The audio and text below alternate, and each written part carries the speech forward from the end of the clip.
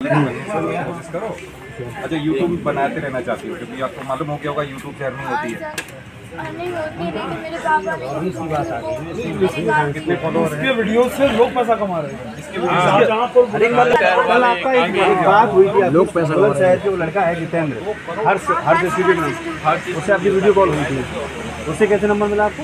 उसने मतलब वर्ड को फिर कमेंट पे उसने नंबर डाला। तो मैंने पापा से पूछ के मैंने पापा से पूछ पापा की आईडी आपका राजपूत है ना? बेटा जी का नाम क्या है? राकेश। राकेश। तूने पापा की आईडी से मैसेज किया। बनवाई बंद करना तो करो फटाफट टाइम वेस्ट ना करो चलो हटो, अर्जुन। हमको सवाल पूछे बता दीजिए ठीक है? यही नॉर्मल बात करेंगे नॉर्मल बताना।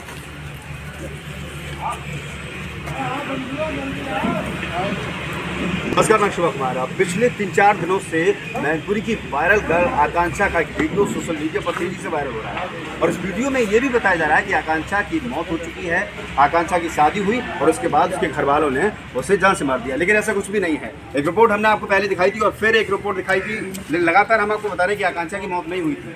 कल धन्नाहार पुलिस ने ये खुलासा कर दिया है कि आकांक्षा अभी ज़िंदा है और आकांक्षा यहाँ पर मौजूद है। हम धन्नाहार में खुद मौजूद हैं।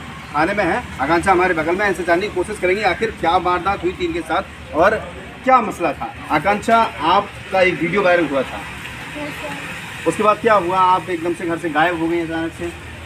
सर मेरे घर वाले भी मतलब मेरे घर वाले नहीं, मेरे घर वाले मेरे डांस को पसंद नहीं करते इस वजह से। लेकिन उन्होंने कहा कुछ नहीं, लेकिन मेरे पड़ोस में और मतलब मेरे भागपुर मेरे गाँव से लगता हुआ है भागपुर पापा ने मतलब उसे कहा होगा, मैंने पापा से कहा, नहीं पापा, आप उनसे बात करके देख लो, मेरा चैनल बनवा दो।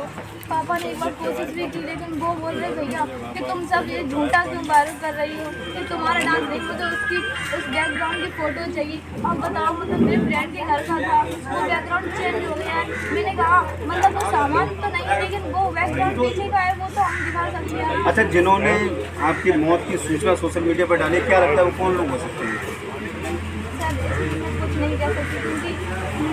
मतलब आपके पिताजी के मुताबिक कल सात बजे आप स्कूल आई थी। उसके बाद से आप गायब हो गई क्यों? झगड़ा चल रहा है इस वजह से सर मुझे बहुत बुरा लग रहा है और मेरी वीडियो के बाद में सब मुझे उंगली उठा रहे हैं बार बार यही कहती है पता नहीं क्या करेगी नाचने वाली बनेगी क्या करेगी? अच्छा ऐसा बोले रहे हैं।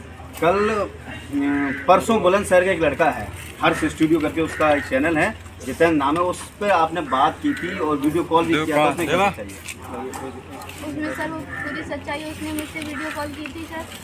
मतलब पापा भी सामने थे मम्मी भी सामने थी मैंने सबके सामने भी